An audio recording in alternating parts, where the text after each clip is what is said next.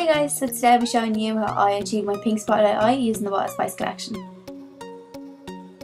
So what I'm doing here first is I'm taking my 6SS brush and my 314 eyeshadow and I'm just buffing that shadow all onto my lid and into the crease. So this will act as my transition colour.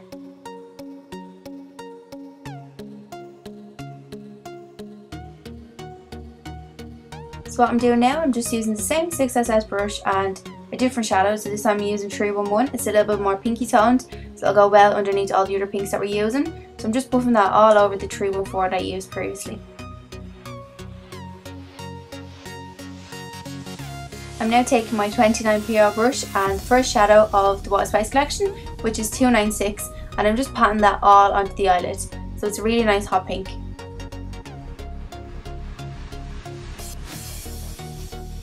So I'm now just going back in with the 6SS brush once again and the same 296 shadow and I'm just buffing all the colours together just to ensure that there's no harsh lines. Go back in again with the 29PO and the 301 shadow this time so it's another shadow from the a Spice collection and it's a gorgeous burgundy. So once I'm happy with the burgundy, I'm going to go in with 305, which is the darkest brown from the a Spice collection and I'm going to blend all that out with a 10S brush.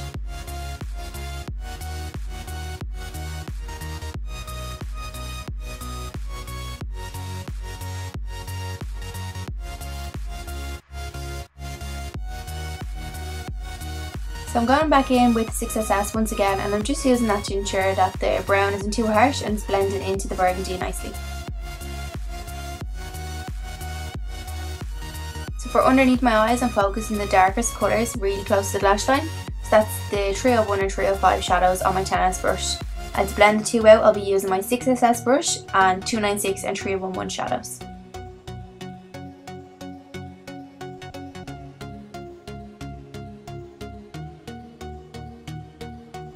So to deepen the look even more, I'm using my 13p brush and my 308 shadow, which is a really nice dark purple.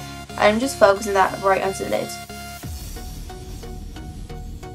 and then I'm going to go back in into the lower lash line and I'm using my 74 gel liner and a 30T brush. This gel liner is gorgeous, a really nice dark purple once again and I'm blending that right into the lash line so I'm not leaving any white gaps. So as a base for glitter, I like to use the eyeshadow keeper and my 22T brush. So I'm just kind of focusing that onto the centre and I don't have too much on my brush so then I can blend it easily into the shadow. For the glitter I'm going to use 46 and 47 body sparkles which are a part of our new Star New collection. Um, I'm focusing that towards the centre and then if there's any harsh edges I'm just going to blend it all away with my 10S brush and a bit of that 308 shadow.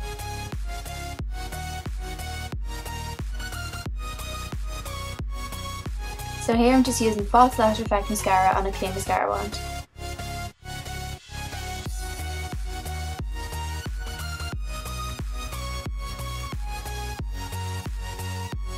So I'm now just going to apply my 14N lashes using latex free geoglue.